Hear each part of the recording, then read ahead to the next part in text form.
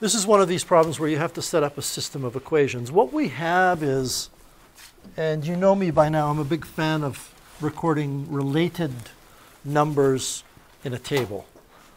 Uh, the relation here is a relation between n and Sn. So it says the sum of the first five terms is 65. That means S5 is 65. Uh, the sum of the first eight terms is 152. Once you, much, much like a lot of the math we do, you start off on a very bumpy, dark path and you just have to take a few steps in one direction. You have to choose the right direction, and things start to clear up. So that's the whole goal in any of these problems. If you're having difficulty, you're trying to turn it into something that is simpler. And once we get over this first little bump in the road, it'll be fairly easy. This is the formula we're going to use.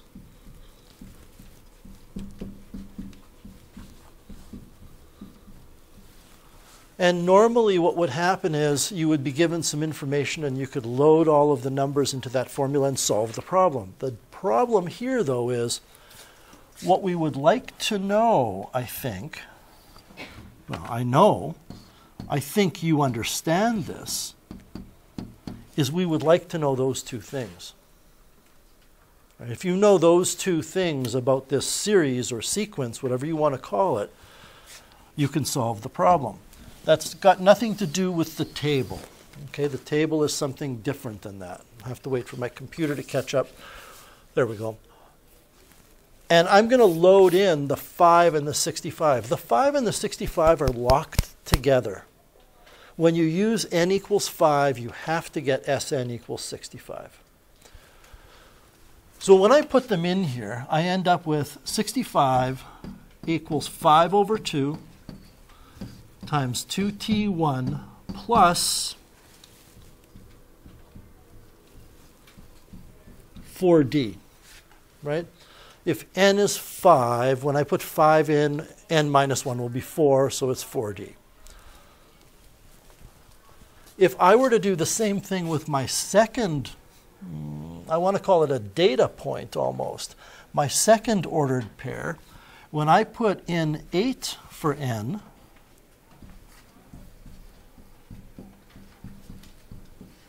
I have to get 152.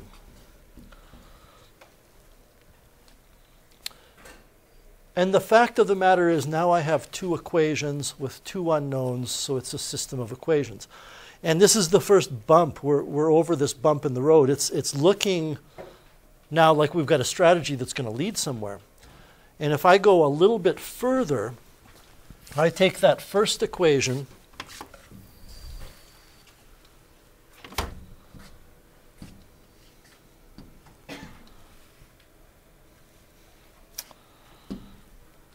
I'm just going to cover that up, be quicker. I take that first equation and I multiply the 65 by 2, and then I divide the result by 5. Can you work out what I'm going to get? I think it's going to be 26. So uh, another way to look at it is if I take that 65 and divide by 2.5 to get rid of that 5 over 2. 5 over 2 is 2.5. I'm going to get, did I say 26? And is it 26? So I get this equation 26 equals 2t1 plus 4d. If I take 8 divided by 2, which is 4, and I divide that 4 into 152, I believe I get 36 no, 30, 38? Okay. I get 38. So now I have 38 equals 2t1 plus 7d. And now, not only is the road kind of smoothed out, the sun's starting to shine on me. It's looking really, really doable because I can see that if I subtract those two equations, and by the way, I would subtract them in this order. That way my d's are going to be a positive number of d's when I subtract them. I subtract these equations and get 12 equals 3D, not only has the sun come out, they're, hot, they're giving out free ice cream now. Like it's really simple at this point in time. Life is good. Because now I know that if I divide 12 by 3, I get 4. My subtraction's right, isn't it? Sure. I get D equals 4. And once I know D, I can just load that D back in wherever I like. I could put it in here and have 26 equals 2t1 plus 4 times 4. Not trying to minimize the work, but solving this equation for t1 is not a big deal. It shouldn't be at this point in your high school math career. 26 minus the 16 here gives you 10. Thank you. Divided by 2 gives you 5. And I'm going to leave it here. I'm just going to say now that you know the difference is 4 and the first term is 5, I'm not even sure what the question is asking us to find, but you can find it now, right? You know the first term and the common difference, you could find anything. Um, somebody else had asked me about this question through email. And, and I don't mind going over this again, but I do want to point out to you that this might be the sixth or seventh time we've done a question like this, where you're told two terms and you're asked to solve a problem with them. You could solve this equation, and again, if you know the first term and the common difference, then finding S25 should be like taking candy from a baby. It should be really simple and easy to do, okay? There's a simple way to do this without resorting to setting up a system of equations, and it's to say that to go from the second term to the fifth term involves three jumps in the sequence, which means to go from 40 to 121 involves adding three common differences. Um,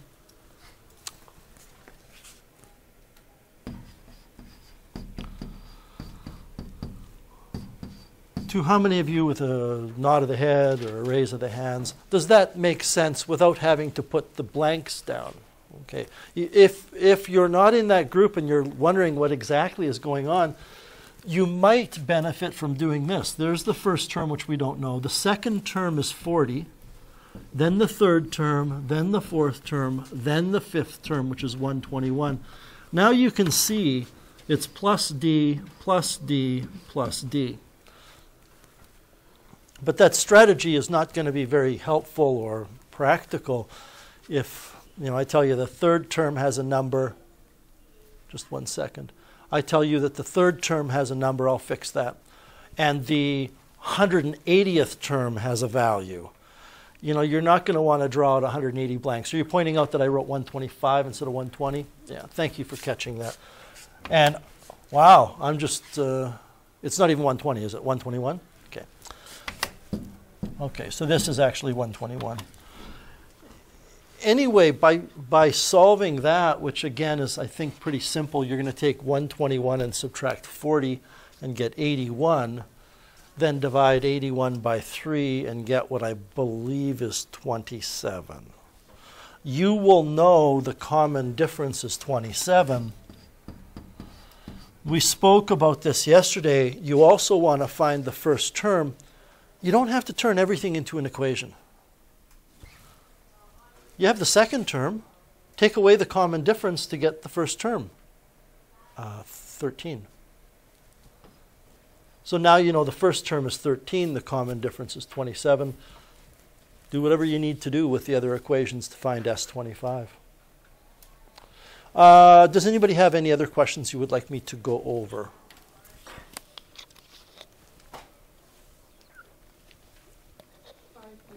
Five B.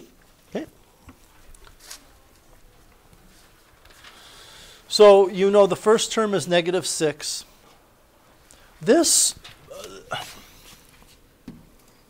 this bit of business here, there's something that maybe you understand without even thinking about, but it's kind of complicated. When you're told Sn is 75 and Tn is 21, you can either just remember that when we say Tn is 21, that this is the last term. But the understanding here is if Sn is 75, that means it's the sum of n terms, whatever n is. n might be 12. But if you're finding S12 and n is 12, that means this is T12, which means it's the last term because there's 12 terms. It's not 12, or I don't know if it is or it isn't. Okay, um, but the bottom line is we have the last term, we have the first term, and we have the sum of the terms. The formula that will take you to your destination as quickly as possible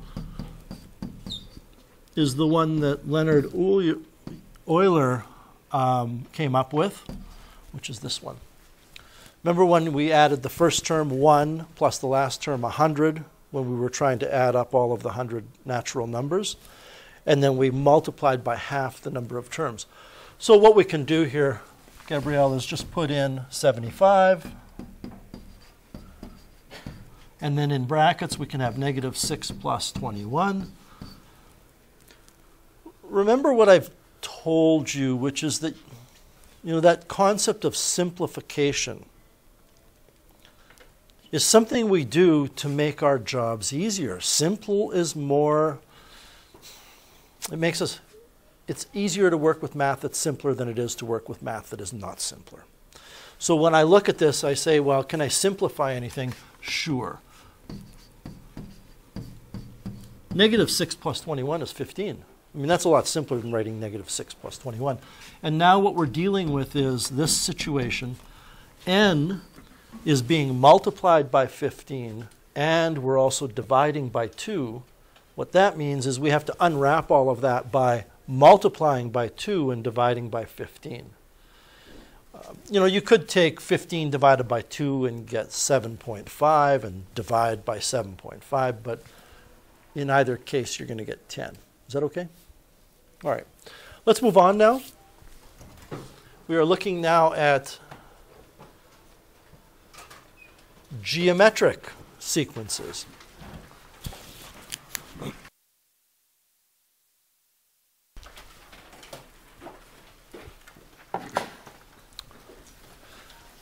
And essentially everything that we have learned to do with arithmetic sequences and series, that is, find the 12th term of an arithmetic sequence, find the sum of six terms of an arithmetic series. All of these things that we've been doing with arithmetic sequences and series, we are now going to be doing with geometric sequences and series. Except geometric sequences and series don't have a common difference. If they did, they would be arithmetic. They have something different. So we're going to identify what geometric sequences are to begin with determine the properties of those geometric sequences. Common ratio is to a geometric sequence what a common difference is to an arithmetic sequence. It's not the same thing, but what defines how you go from one term to another in arithmetic is what the common difference is. What defines how you go from one term to the next in geometric is what the common ratio is. When we did arithmetic sequences, we wrote general terms. Well, we're going to do that for geometric. And we also found arithmetic terms. We're going to fi find geometric terms. To begin with, the I was going to say the difference. I don't want to use the word difference here. For a geometric sequence, to go from one term to the next, you multiply by the same number. You don't add the same number, you multiply. So every term after the first term can be found by multiplying the previous term by a constant. So if I look at this sequence of numbers, 3, 6, 12, 24, I can see that what's happening is if I multiply the first term, which is 3, by 2, I get 6. If I multiply the second term, which is 6 by 2, I get 12. If I multiply the 12 by 2, which is the third term, 12 is the third term, I get the fourth term. So what's happening here is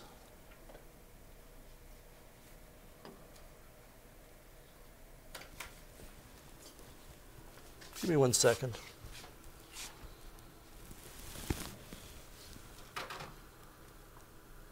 I guess we'll go with that. I thought I had made changes to this document, but I guess not.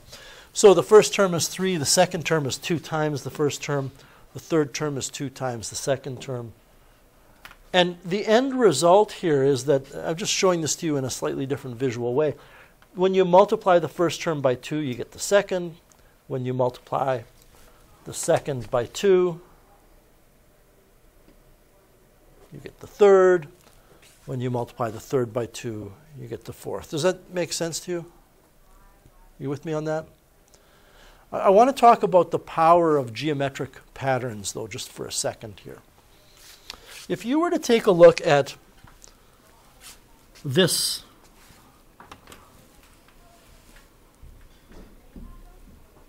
sequence, is that arithmetic or geometric? Nate? It's arithmetic. What's the common difference? One. Common difference is one. Uh, you know, I'm, i want to change this. Let's go three, five, seven. Is it still arithmetic? Okay, what's the common difference now? Two. Common difference is two. If I were to take a look at this one,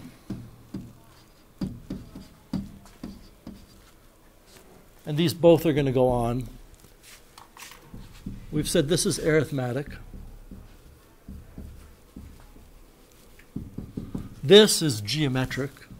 I mean, I know you just learned about geometric less than a couple minutes ago, but you should see that it's not arithmetic. What's happening is we're multiplying by the same number regularly. And that number we're multiplying regularly is also 2, isn't it? Okay. Well, that number is going to be called the common ratio. But I have a question for you. There is well, we're already into February. Let's say starting March 1st, January, February, March. There's 31 days in March. Okay?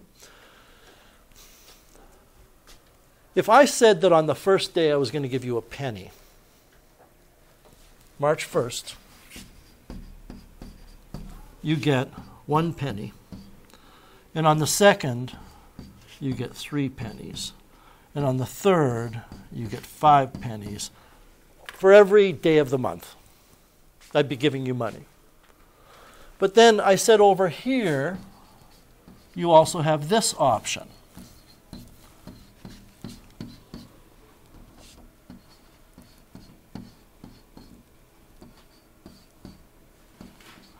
I think it's pretty obvious that the second option will accumulate more money.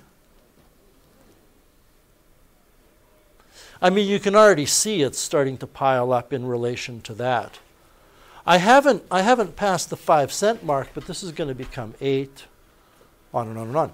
We could even work out, let's, let's work out a amount that you would get on the 31st of March here. Well, this is a math problem now. It's Tn equals the first term plus n minus 1 common differences. Well, the first term is 1. The first term, come on. For 31 days, the first term is 1 plus 31 minus 1 times the common difference, which was 2 cents. Can you work out what that is? I think it's going to be 61 cents. Big deal. Now, that's not the total you get throughout the month, that's just on the last day. So the amount that you would get on the 31st day with this arithmetic progression is 61 cents.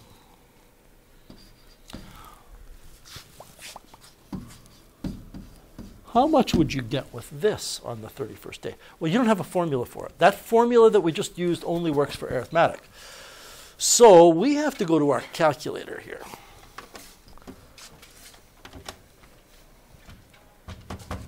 I take and my calculator, I, I don't know quite how to describe why it does what it does here. But if you go 1 times 2 equals, and you do that a couple of times, then it learns. It, you have to do it at least twice for it to understand you want the pattern to continue. So 1 cent is the first day, 2 is the second, 4 is the third. This is the fourth day that you're looking at here. Would you agree? Fifth, sixth, seventh, eighth, ninth, tenth. On the tenth day, and, and I guarantee you, if any single person in the class agrees to give me this amount of money with this pattern for the month of, month of March, I will give everybody in the room 100% for a final mark. I guarantee it. I'll quit my job the next day anyway. Because the amount of money is going to be so huge, I won't care. That's not true. I care about you. That's the, what did I say, 10th day? March 10th.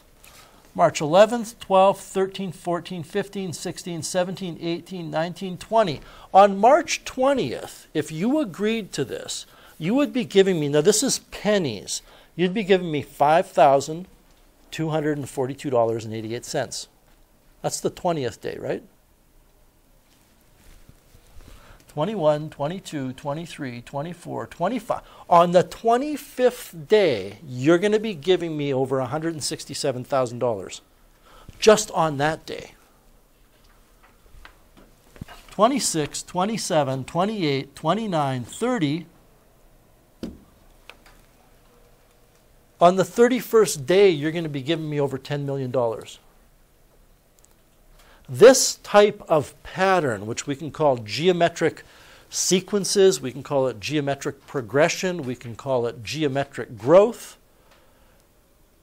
is it's also called exponential, is a type of growth that really takes off. When you look at what's happening with the arithmetic, it just follows a straight line pattern. When you look at what happens with geometric, even if it starts off low, it takes off very rapidly. When COVID first started happening and we didn't know what to do and nobody was wearing masks, that's what was happening. It was growing exponentially or geometrically.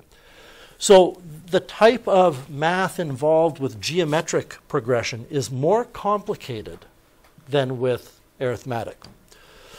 So in that example we were looking at, let me remind you what we were talking about. We were talking about this. That number 2 is called the common ratio. So we have the common difference, which we use for arithmetic, and the common ratio, which we use for geometric. We use D for a common difference and R for a common ratio. So what is the common ratio? It's what you multiply a term by to get to the next term, or it's what you get if you take a term and divide by the one before. I, I want to go back and show you something here, again, by compares, comparing arithmetic and geometric. And I think this will be helpful for many of you in understanding the terminology and what's going on.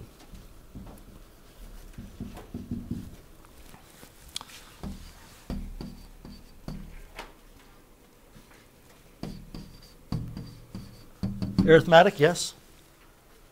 Okay. What's the common difference? Six, right? Pretty simple. How many of you said that the common difference is six because you add six to two to get eight? Right? That's what most people will do. You say the common difference is what you add to move forward. Wait, add. Why are we using the word difference then? We use the word difference because if you take a term and subtract the one before, that's the difference. If I take a look at this, geometric, be sure. Jay, what's the common ratio? Four. I'm multiplying by four each time. 4 is the number you multiply by to move forward. Why is it called a ratio? because the ratio of 128 divided by 32 gives you 4. So a common difference is what you add to move forward, and it can be found by taking a term and subtracting the one before. A common ratio is what you multiply by to move forward, or it can be found by taking a term and dividing by the one before. I hope you're feeling better.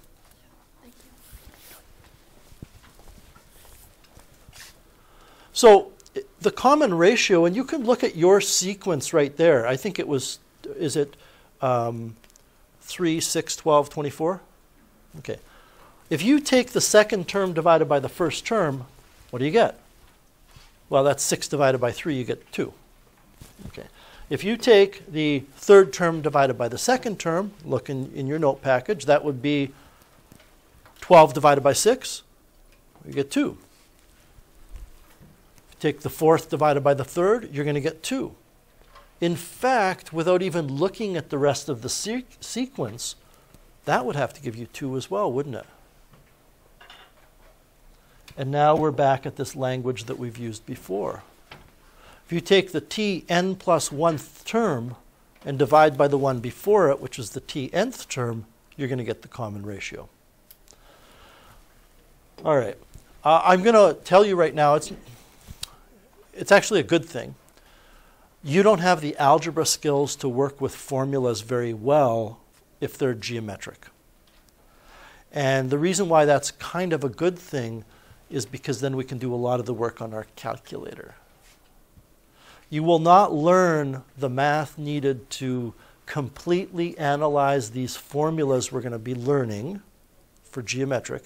You won't learn all of the algebra until Math 30 1 because it involves something called a logarithm, which we can't get into here. But there's a general formula, and it says this. And I think it's valuable to understand why this formula is what it is.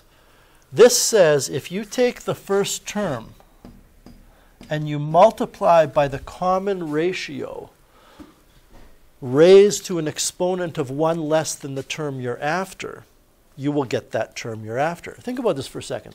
If I have the first term, what is it I do to get the second term? Well, I multiply by r, don't I?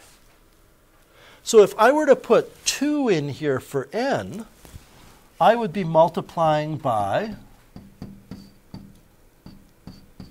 r to the 1, which will take me to the second term. It's, it's analogous to, it's similar to adding one fewer common differences to get to a term. Here we're multiplying by one fewer common ratios. So this is T2. How would I find T3? Well, I would have to multiply by the common ratio again. Be careful here. When I multiply by r twice, I'm not multiplying by 2r. I'm multiplying by r squared. Because r times r is r squared. It's not 2r. So I have to take the first term times r squared. Well, the formula works.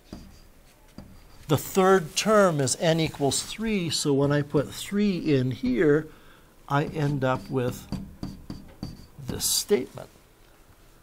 I think it's valuable for you to understand where that equation comes from. Again, with arithmetic, you add one fewer common differences to get to a term. With geometric, you multiply by one fewer common ratios. So that's the formula. And it's called the general term, and it's also on your formula sheet. So when you look at your formula sheet, you have your three formulas for arithmetic, your general term formula, and your two sum formulas for the series. And then under geometric, it turns out we're going to have a total of four formulas. And we will get to all of them in the remainder of this unit. All right. Use the sequence shown above to create a general term, Tn, using that formula and verify that it works. So again, everybody, this is easier The math is more complicated, but coming up with the formula is easier than arithmetic because all we do is put T1 and R in there.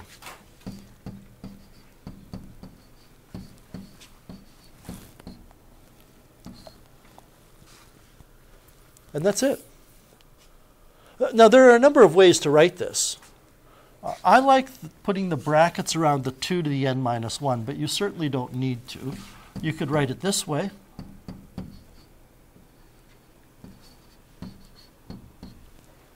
You could write it this way.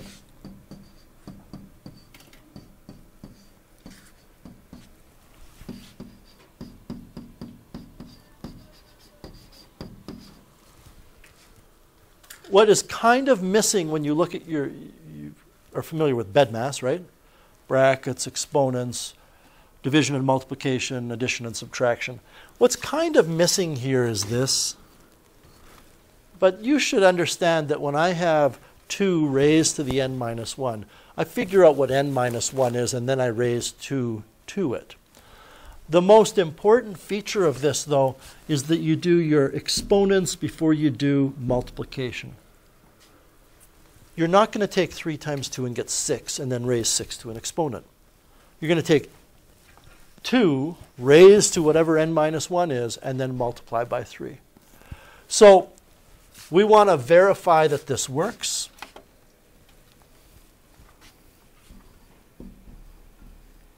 We already know the sequence is, just double check here, 3, 6, 12, 24. Okay. So if I put 1 in here, what happens? I get 3 times 2 to the 1 minus 1. I don't normally like working left to right, but just for something like this, I think it's okay. We're just calculating a value. This is 3 times 2 to the 0. 2 to the 0 is 1. This is 3. Well, that computes. We, we're supposed to get 3. If I were to put in 2, how many of you, by the way, see why this is going to work? Not just for this term, but for any term we get 3 times 2 to the 2 minus 1, which is 3 times 2 to the 1. 2 to the 1 is 2. 3 times 2 is 6. Again, it checks. And if you want to continue with that progression, you will discover that T3 will be 12, T4 will be 24. It works. Any questions with that formula? And again, this is just a warm up. All right, examples. Write the general term for this sequence. And I'm going to be very demanding of you here in terms of how things are written. The first term is negative 10. And I would like everybody to determine what the common ratio is.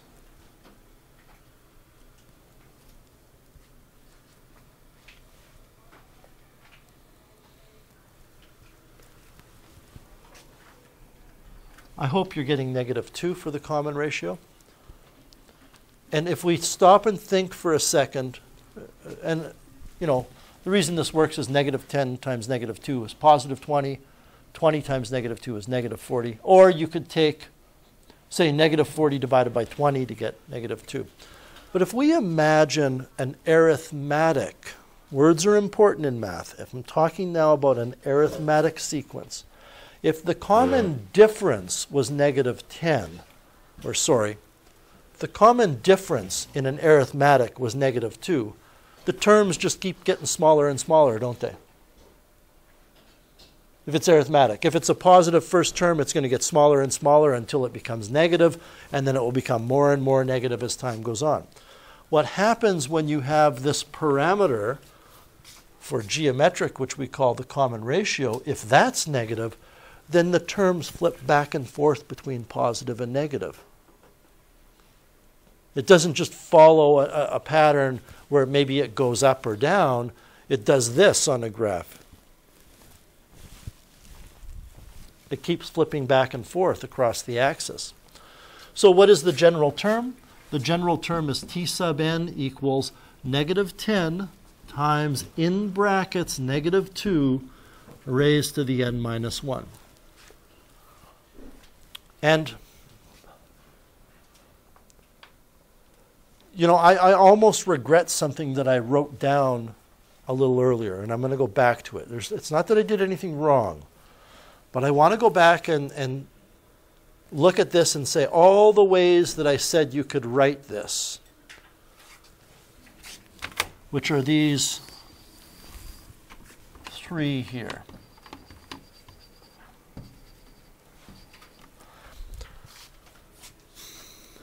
I think you should get into the habit of writing it this way.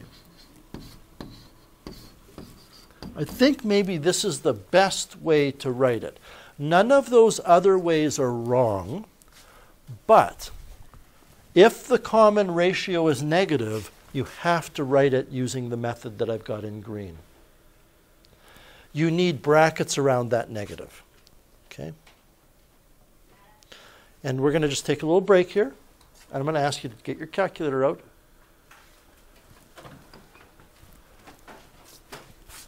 And I have a problem for you. I'm going to talk about x and y.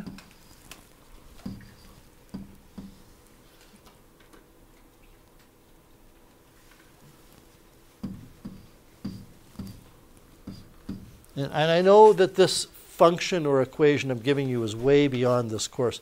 But what I'm asking you to do is take different numbers for x. And I want you to take negative 2 raised to this value of x. So I want you to figure out what happens if you take negative 2 raised to the 1. And if you take negative 2 raised to the 2. And if you take negative 3, sorry, negative 2 raised to the 3. You're raising that negative 2 to 1, to 2, to 3. Let's go all the way up to 6.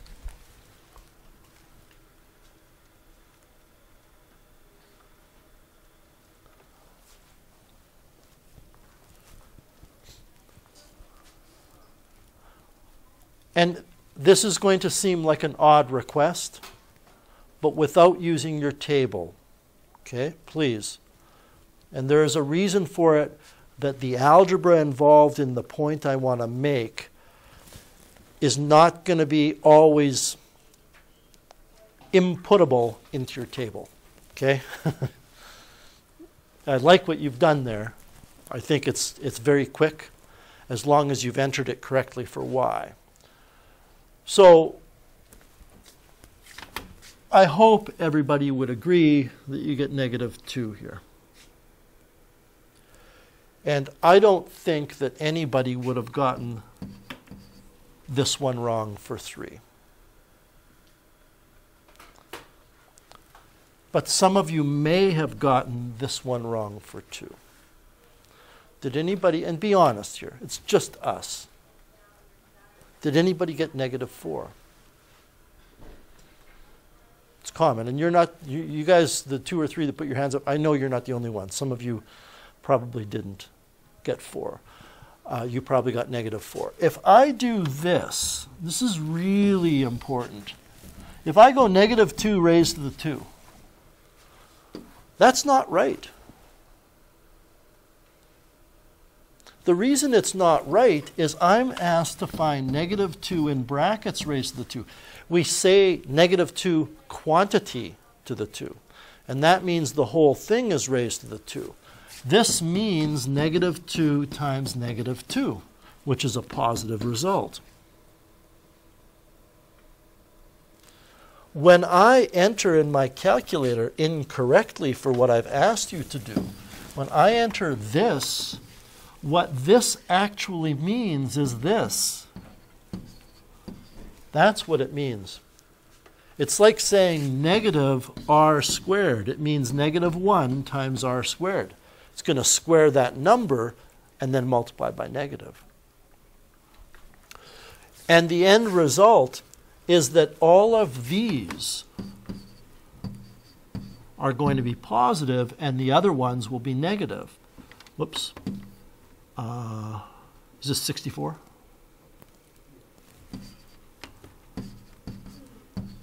And the reason you get a negative with these is because the exponent is odd. If I take a negative number and multiply that negative number out an odd number of times, I'm going to get negative. If I multiply it out an even number of times, this is what starts happening. Pairs of negatives start canceling and making positives.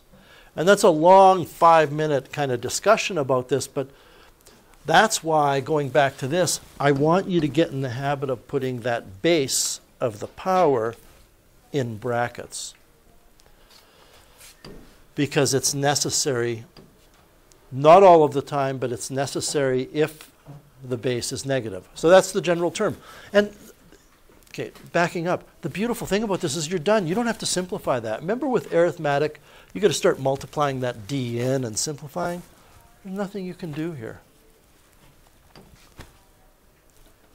All right, t sub n equals the first term multiplied by the common ratio to the n minus 1. Well, the first term is 64. What's the common ratio? Well, figure out what you multiply 64 by to get 32. And if it's not obvious, take 32 and divide by 64. Take a term and divide by the one before it. And it's a half. I don't have a problem with you writing 0.5 there because 0.5 is a nice decimal. I hope you can appreciate why this is okay. We don't need brackets around the 0.5 here because it's positive. However,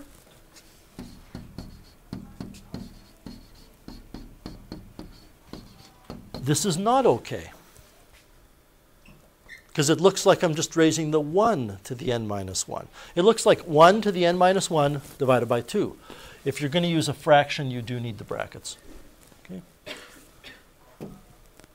Uh, by the way, are all we asked to do here is write the general term for question 1? That's it, eh? This is like, this is easy. Oh, here's a good one. t sub n equals t1 times r to the n minus 1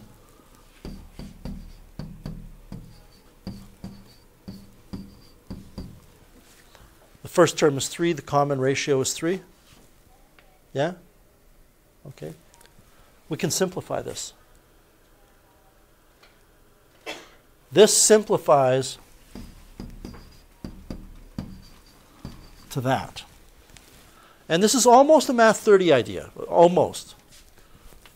We really do a lot of this in Math 30. By the way, can you confirm that 3 raised to the 1 gives you 3? And 3 raised to the 2 gives you 9.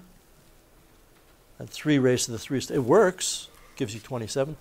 What have I done to go from here to here algebraically? Does anybody know?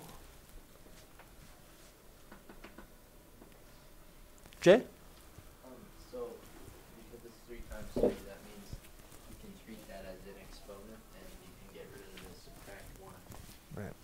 This 3 is 3 to the 1. And when you multiply powers that have the same base, you add the exponents. There's already an extra 3 there. So, you know, if I have x squared times x cubed, that's x to the 5. The base stays the same, and I add the exponents. So 3 to the 1 times 3 to the n minus 1, I add 1 and n minus 1 to get n. You're going to see that a lot in Math 30 more complicated, but it will be there. Find the indicated term. What's the ninth term? Well, listen, if this were arithmetic and I said find the ninth term, you'd write out the general term, then you'd put n equals 9 in. We're going to do the same thing here, but our general term, I'm going to write this up here. t sub n equals t1 r to the n minus 1. Well, tn equals 3 times negative 3 to the n minus 1. Would you agree the first term is 3? The common ratio is negative 3? Okay. We just have to put 9 in here.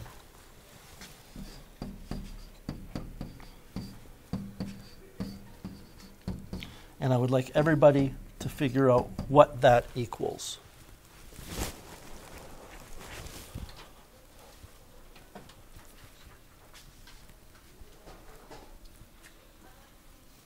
It'd be quite a big number.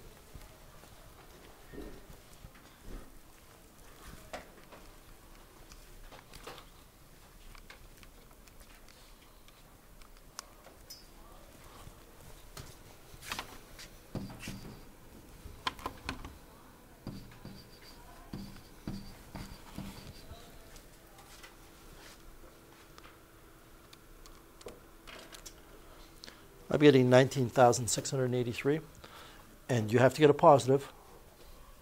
And if you want me to be perfectly honest with you, I know that 9 minus 1 is 8. I guess I should have put a 9 here, right?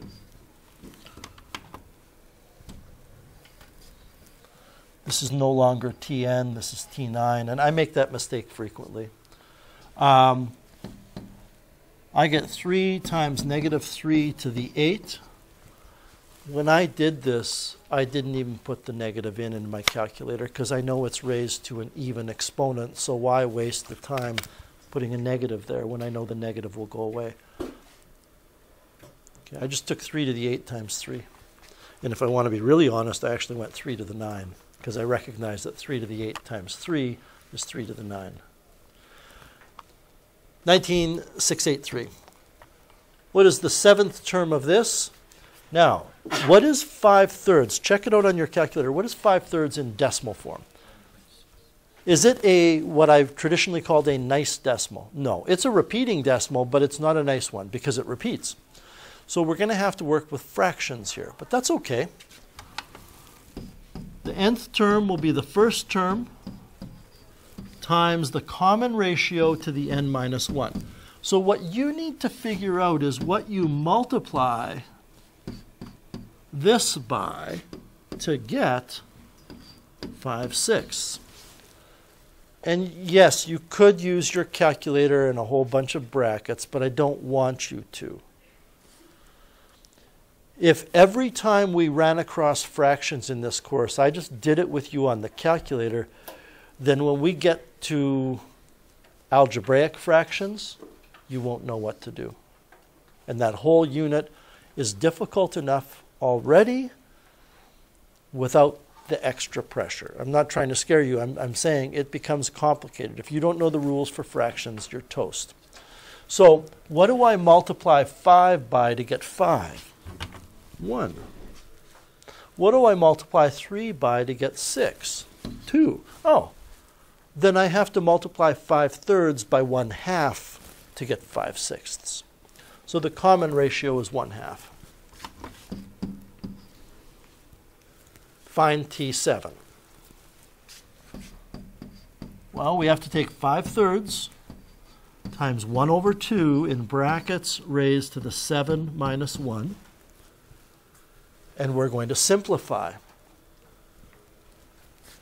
T7 equals 5 over 3 times 1 half to the 6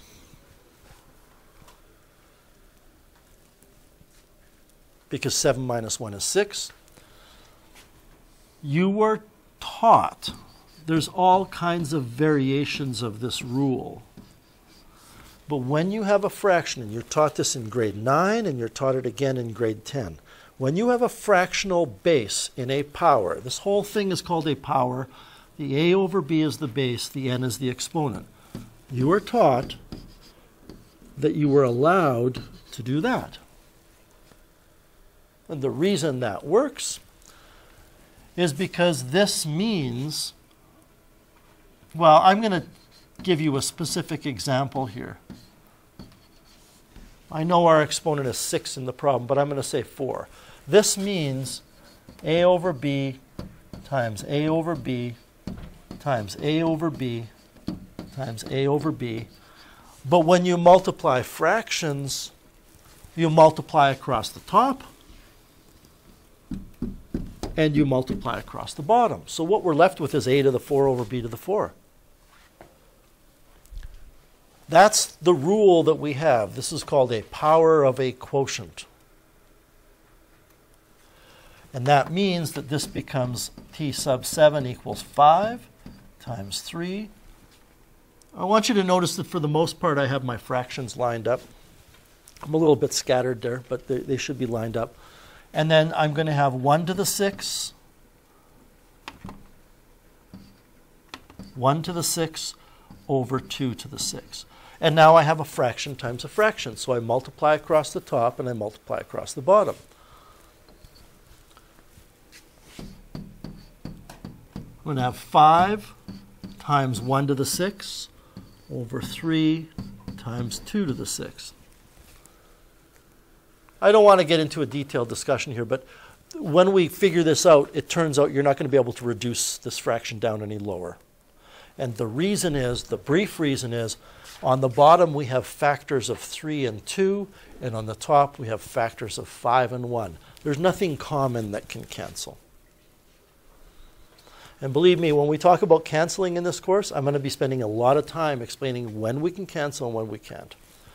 What do I get here? T sub 7 is 5 over 3 times 64, 192. Is that the right number on the bottom? Now, could we have figured this out on the calculator? Yes, definitely. We could have taken in brackets 5 over 3 what I've told you about putting negatives in brackets, I'm going to tell you always do that with fractions. It's not always important, but it's often important.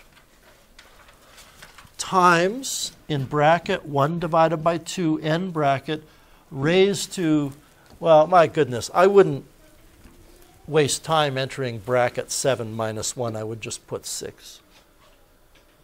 You go equals, math, enter, enter. Yeah, 5 over 192, which is what we got. But if that's all you know how to do, you're toast later, like I said. Like, really. You need to understand these rules for fractions. Right, find the general term and the indicated terms. Hmm. This is a problem we've done before. In fact, we did one, the homework question, number 10 on page 18 that we started off today with, where we had, it wasn't the third term is 4 and the seventh term is 64. I think it was the second term was maybe 6 and the fifth term was 121. I don't remember what the numbers were. But do you remember this setup? And what we said was, please don't write this down, this next part.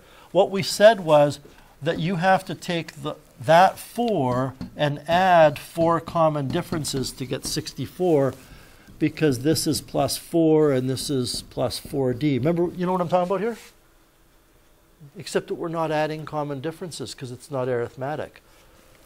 Which is why I said don't write this down. What do we do to the third term? First, second, here's the third term fourth, fifth, sixth, seventh, which is 64. What is it we do to the fourth term to get the seventh term?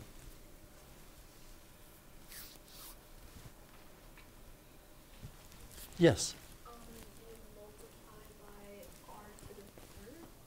R to the No. No.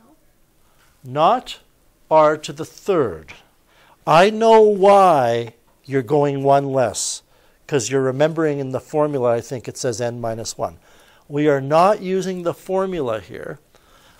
And that's interesting because you might make that same mistake with the arithmetic. We simply count the leaps. One, two, three, four we have to multiply by r four times, which means we have to multiply by r raised to an exponent of 4. If you look up here for a second, you subtract 1 when you go from the first term to the nth term. And we're not doing that here. We're going from the third term to the seventh term. We're going four places down the road. So that means, everybody, that 4 multiplied by r raised to 1, 2, 3, 4 has to give you 64. Now you solve that equation. I'm going to rewrite it down here where I have a bit more room. That term multiplied by the common ratio to the 4 is going to give us 64. So we divide in this equation by 4. And, and I'm going to be perfectly honest with you. You haven't solved this kind of equation before. Not formally. And what we end up with is r raised to the 4 equals 16. So, does anybody have an idea of what to do next?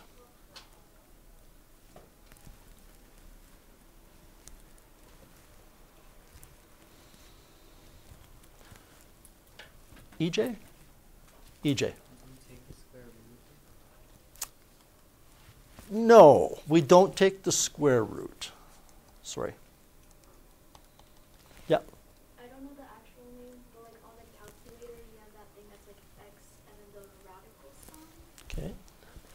You take the fourth root, and I'm going to show you how on the calculator in a second. You take the fourth root. If this was r squared equals, then you would take the square root. So what we need to do is take the fourth root of both sides. And what I'm going to get is r equals the fourth root of 16. And before I show you the calculator method, the fourth root of 16 is the number that you raise to the 4 to get 16. I, I want to challenge you to think about that for a second. What number would you put in here to get 16? It's 2. 2 times 2 times 2 times 2. 2 times 2 is 4. 2 times 2 is 4. 4 times 4 is 16. Four 2's multiplied together give you 16. Now, that means that this is 2. On your calculator, I, I don't like the way this appears on the calculator. Um, if you go to the math menu, there's other things we can do to find it instead of doing this, but I think we'll stick with this for today. And you scroll down, that's exactly what you were talking about. It, it's the root with the x. If I choose that, I have, I gotta go clear. I'm going to get an x with that root, but I need to enter the x first. So I go 4. I really hate how this looks. That, everybody, is my calculator's way of saying that 4 is there. Okay? And then I enter the 16, and I get 2. Now, if you have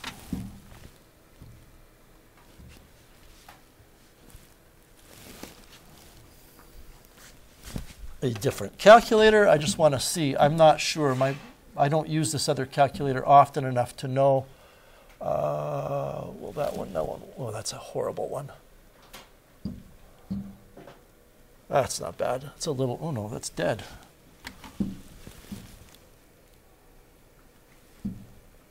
Uh, let's do this one. There we go. Oh, I opened the same one. Boy, I'm scattered. Open. I want an 84. Wow, we'll go with this one. I don't like the color of this one, but it'll work. If I do that here, I just want to see. Yeah, it, it, it puts the 4 in there. That's not where you would write it. I want to point out, you don't put the 4 way up there. You put it like, you just wedge it right in there, right in that little corner. Um, anyway, you get 2. So the common ratio is 2. We can confirm something here, everybody. Go ahead and multiply 4 by 2. Multiply that by 2. Multiply that by 2. Does it give you 64 in the right place? Yes. Divide 4 by 2. Divide 4 by 2. As I've said, you've cracked the case wide open. You know the first term is 1 and the common ratio is 2. What were we asked? Well, we were asked to fill in the missing pieces, fourth, fifth, and sixth terms. One final observation here, and I don't want to spend a lot of time with it, I just want to point something out. Would a common ratio, that was our common ratio, would a common ratio of negative 2 work?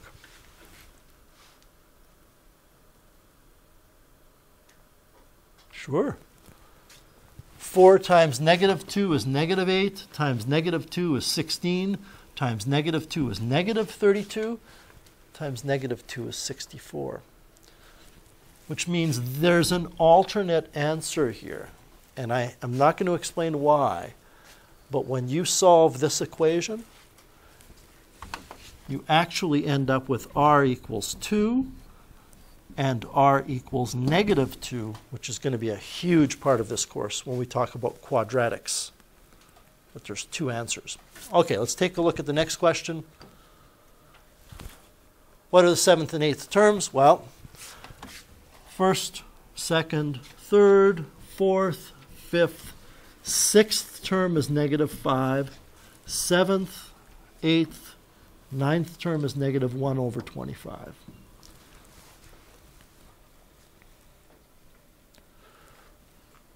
Looking at those blanks,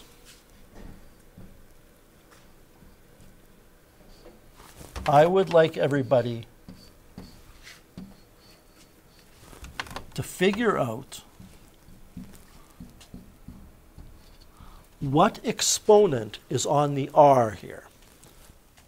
What do I multiply negative 5 by to get negative 1 over 25 in terms of common ratios? How many common ratios is it? Three. It's 3. Excellent. So that means that that term raised, uh, multiplied by r cubed gives us the next term, t9. Um, I shouldn't have said the next term. Gives you the ninth term. I, I think many of you are starting to appreciate why it would be to the 3, because to go from the 6th to the ninth is 3 jumps. So I need to divide both sides by negative 5. Now, again, fractions. The quickest way to divide both sides by negative 5 is to multiply both sides by negative 1 over 5. When I divide by 2, I multiply by a half. And now I can multiply across the top. I get 1. Across the bottom, I get 125. And it's positive because I have two negatives there. That is not r, that is r cubed. Which means I need to take the cube root.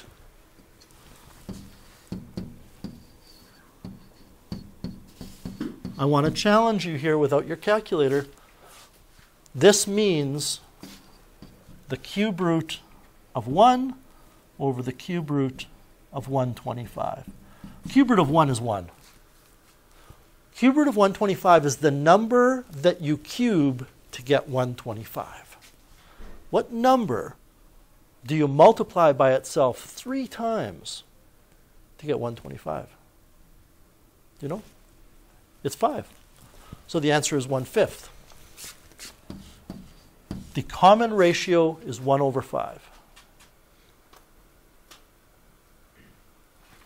If you want to find these two terms, take negative 5 times 1 over 5.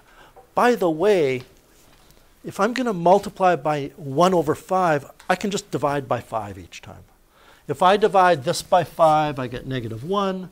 If I divide negative 1 by 5, I get this. And if I divide that by 5, I get negative 1 over 125. So the two missing terms are negative 1 and negative 1 fifth. Was that the final example? Was, okay. So I don't, I, I'm not saying you can't use your calculator to do some of these calculations, but I'm saying don't be so lazy that that's all you always do. Try to get used to thinking of these numbers and trying to work out the results using rules of fractions and using rules of exponents. You can see what the assignment is. As always, there's a whole raft of additional problems you could practice for extra practice, but the actual assignment is on page 39, questions 1 through 5.